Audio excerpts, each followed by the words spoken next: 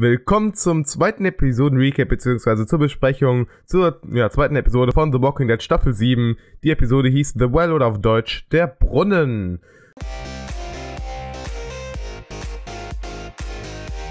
Und mit dabei ist wieder der Robin. Und vorab machen wir schon mal so ein kleines Fazit, wie wir die Folge fanden. Ich fand die Folge ähm, sehr, sehr cool. Ich fand, das war jetzt wieder so ein Schritt zurück zu Episode 1, also zum Staffelauftakt, wo Negan, Glenn und Abraham zermatscht hat. Das wäre alles ziemlich dramatisch, die ganze Episode. Und ich fand, das war jetzt wirklich so ein, ja, man hat so einen Gang zurückgeschaltet und wir haben auch eine neue Location kennengelernt, nämlich das Kingdom. Wie fandest du denn so schon mal im Vorabfazit die Episode? Ich fand die auch eigentlich ganz gut und ähm, ja, hier wurde ein bisschen was von der Story erzählt und halt so ein bisschen die Story zur Staffel, zur restlichen Staffel 7 eingeleitet. Genau. Ähm, wie gesagt, zu diesem zweiten Handlungsplatz, der hier eine ganz massive Rolle spielt. Wir haben jetzt ja die drei, ähm, also die drei Verbündeten, beziehungsweise die sich wahrscheinlich später verbinden werden. Wir haben einmal das Hilter, wir haben einmal Alexandria und wir haben einmal jetzt äh, das Kingdom. Und da bleibt als Gegenseite halt, bleiben halt die Saviors übrig. Aber äh, dazu kommen wir dann natürlich vom Handlungsaufbau auch noch in späteren Episoden von Staffel 7. Ich würde sagen, wir fangen jetzt erstmal an. Und zwar, wir haben am Beginn, äh, zu Beginn der Episode eine Carol gesehen, die halluziniert hat. Die hat äh, sich die ganze Zeit auch so Zombies eingebildet, wie die früher noch, also früher waren das noch Menschen und sie hat dann irgendwie, sie war halt ziemlich schwach und ähm, wie gesagt, man könnte, äh, man könnte erst meinen, die wäre irgendwie auf Droge gewesen. Das war schon irgendwie ziemlich lustig. Ähm, ja, Morgan und die anderen vom Kingdom haben Carol, wie gesagt, erstmal verteidigt und haben halt so ein bisschen ähm, die Beißer in der, in der Außenanlage da getötet, beziehungsweise die da halt in der Umgebung waren, haben die halt erstmal, ja, gesäubert. Ähm, Morgan hat dann die ganze Zeit äh, noch diesen Weg markiert, äh, der die zurück nach Alexandria führt, wenn die später wieder aufbrechen äh, ja, wollen, um zurückzukommen. Die wissen ja noch nicht, äh, was Negan da getan hat, oder? Wissen die das? Ich weiß nee, es gar nicht. Wissen die nicht. Also eigentlich können die das ja gar nicht wissen. Deswegen werden die wahrscheinlich auch dementsprechend überrascht sein. Denn das letzte Mal, als Morgan mit Rick gesprochen hat, war das ja, als er äh, auch Alexandria verlassen hat. Deswegen können die das noch gar nicht wissen, dass äh, Negan Glenn halt und Abraham getötet hat. Ja. Ähm, dann sieht man, wie Carol im Kingdom erwacht. Ja, also das Kingdom, wie findest du das? Ich fand, also ich war auf jeden Fall beeindruckt davon, wie groß das doch ist und wie die das so aufgebaut haben mit den ganzen Schulbussen und so. Das sollte ja, ja ursprünglich so eine Anlage, also in den Comics ist das ja an so eine Schule angelehnt, habe ich auch in unserer, also in der Preview schon gesagt. Ähm, ja, also ich fand es sah ziemlich cool aus. Ich auch. Es war, es erinnert ein bisschen an äh, Woodbury. So. Ja, ja, das habe ich mir auch von Anfang an gedacht. Irgendwie, da kommen noch irgendwie schon so Parallelen auf. Weil da wirkten ähm, auch alle so richtig glücklich und verblendet und niemand hat irgendwas ja. von der Zombie-Apokalypse und so gelabert. Genau, also die leben auch schon wieder in absoluter Sicherheit. Ähm, na, das äh, ja, ist natürlich wieder das Risiko da. Das hatte Rick auch damals den Leuten in Alexandria gezeigt, äh, beziehungsweise gesagt, die wissen halt nicht mehr, wie man sich dann verteidigt. Wenn sie rausgehen, sind sie hilflos, weil sie wissen, sie haben es sozusagen verlernt. Aber es gibt ja auch natürlich die Kämpfer, die wir äh, auch im Verlauf der Episode, beziehungsweise jetzt gleich in der Besprechung noch äh, ja, ansprechen. Ja, und dann wurde ähm, Carol das Ganze ein bisschen so erklärt von Morgan, wo die sich gerade befinden. Und dann wurden die in einen Kinosaal gebracht. Und da saß dann König Ezekiel oder King Ezekiel mit äh, ja, seiner Tigerin Shiva und äh, er hieß ja Hofmarschall, dieser Hofner. Mhm.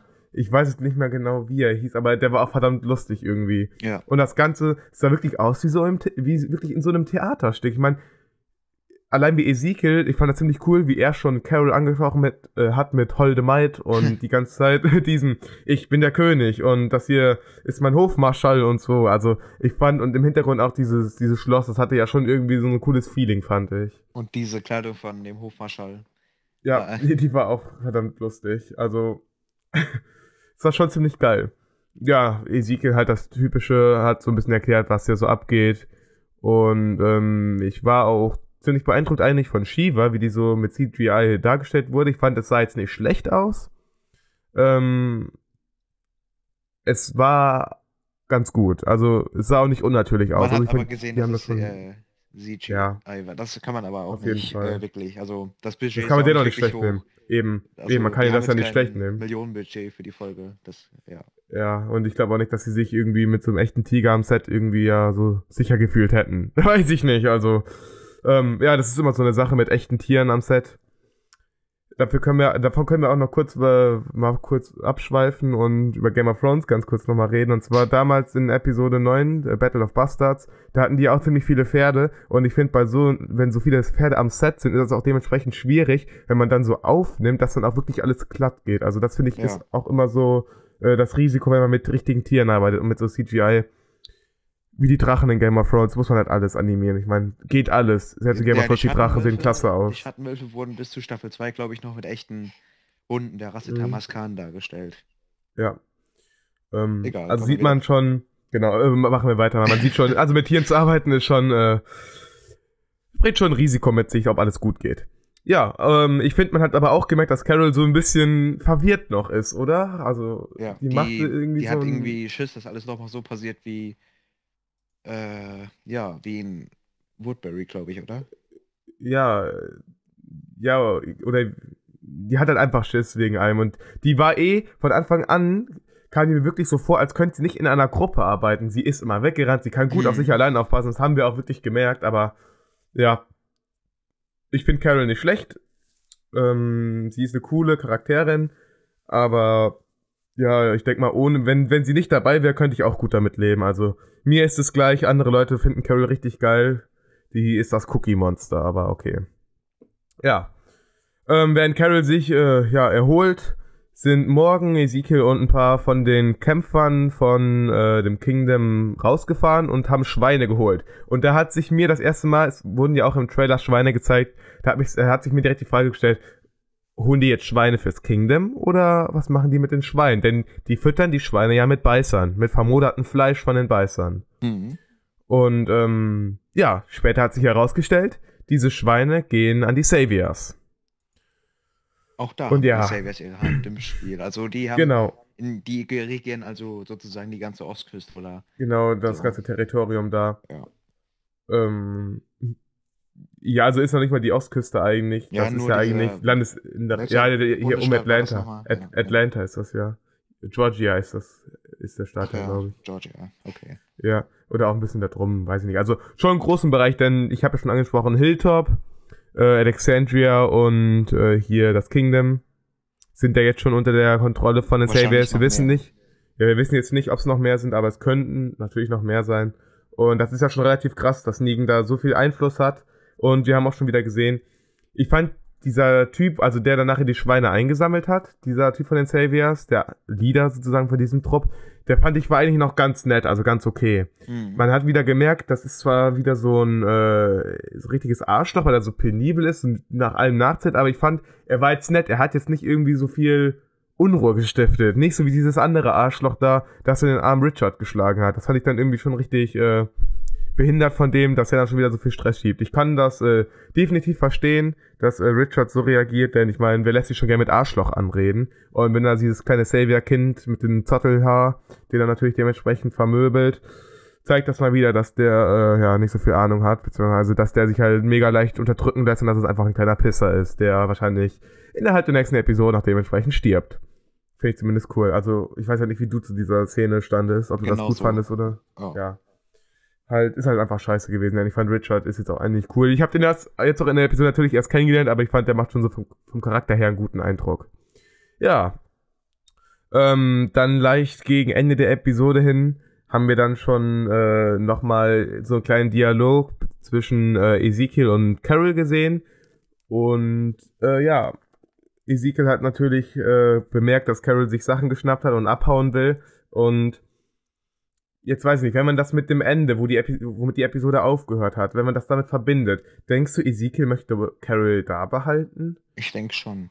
Denn wir können jetzt auch direkt das Ende aufklären. Am Ende, also wir wissen ja alles, was am, was am Ende passiert. Ezekiel steht dann vor so einem Haus. Carol ist da gegangen mit morgen und Carol ist dann un allein unterwegs und dann stand äh, Ezekiel mit Shiva plötzlich vor so einem Haus und äh, bietet ihr nochmal Granatäpfel an. Deswegen, jetzt stellt sich mir die Frage, ist das wirklich so gewollt, dass Ezekiel Carol behalten will? Oder ich, ich kann, ich weiß das jetzt nicht so genau, ob der Carol halt im Kingdom aufnehmen möchte oder so.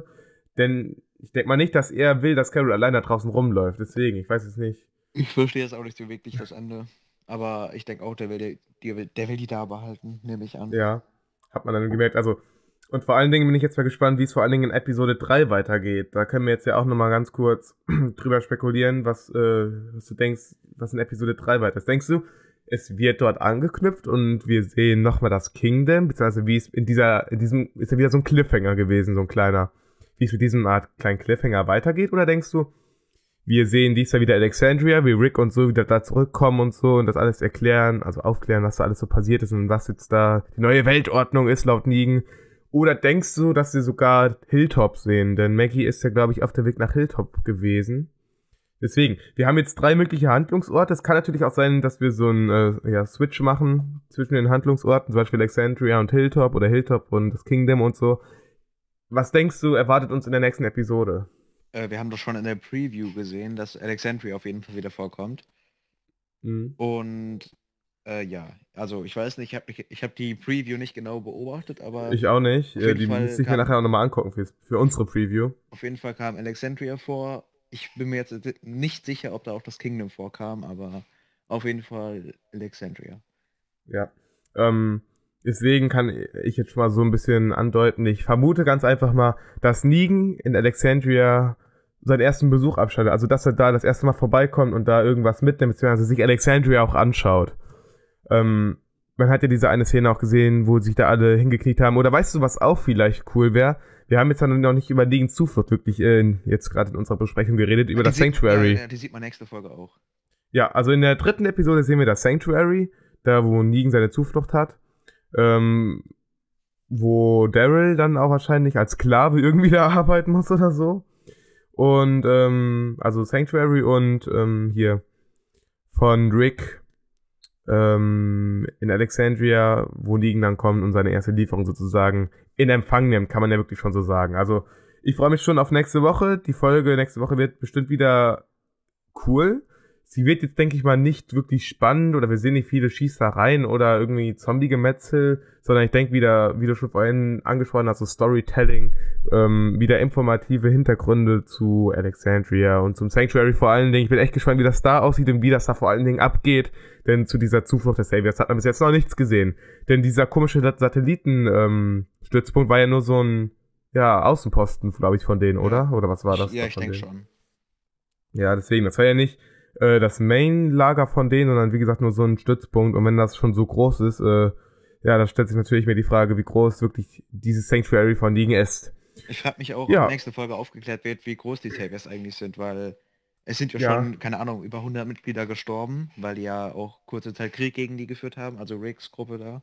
Mhm. Äh, ich denke mal, da wird auch irgendwas dazu gesagt, weil ich denke mal, äh, Negan wird da Daryl auch ein bisschen äh, in rumführen, einweisen, wie auch immer. Man kennt ja Nigen so, wie der ist. Ja. Ich denke mal, der wird ja. das auch so erklären.